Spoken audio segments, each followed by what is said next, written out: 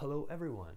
In the next three minutes, I'm going to tell you how the jets are born and how they die when they slam into things. I'm going to try and understand what is the optimal jet diet, what sets their power, collimation, acceleration, mass loading, and emission. I will be classifying the jets on this two-dimensional playground. The vertical axis is uh, the thickness of the accretion disk. And the horizontal axis is the strength of the vertical magnetic field. Let's focus on the easiest case. The jets form just fine, but what's really challenging is to resolve the scale separation between the tiny little black hole and the large galaxy. We've learned that if we give black hole large-scale vertical magnetic flux, it will happily produce the jets. Consider a thick disk, but we will not give it any vertical magnetic field.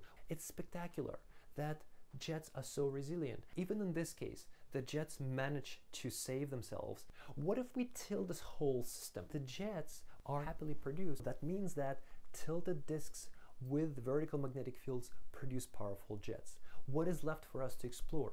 Perhaps we could take a look at a thin disk with a lot of vertical magnetic flux. Wait, the accretion disk has just aligned. This is the first demonstration of Bardeen-Petterson alignment in the presence of general relativity and turbulent magnetic fields. Jets are still there. What if we tilt the disk even more? The inner disk tears off of the outer disk and takes the jets with it then these jets slam into the outer disk and completely destroy it.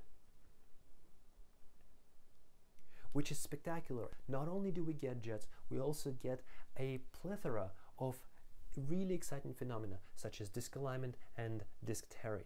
So what happens if we consider um, the only remaining option here for suppressing the jets. Here there is no large-scale poloidal magnetic field. There is no jet for the first time. What causes the jets to fall apart?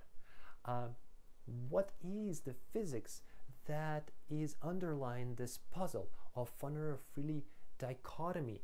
So what's happening here, we think, is the activation of the magnetic kink instability. Accretion disk forms these two beautiful jets that kink and fall apart and uh, inflate these beautiful bubbles. Jets are really resilient. We are beginning to understand uh, through the simulations uh, the acceleration, dissipation, mass loading, and the physics of disruption of the jets. A plethora of really exciting new physical effects, uh, such as uh, disk tearing, uh, Bardeen-Petterson alignment, and jets that are destroying accretion disks.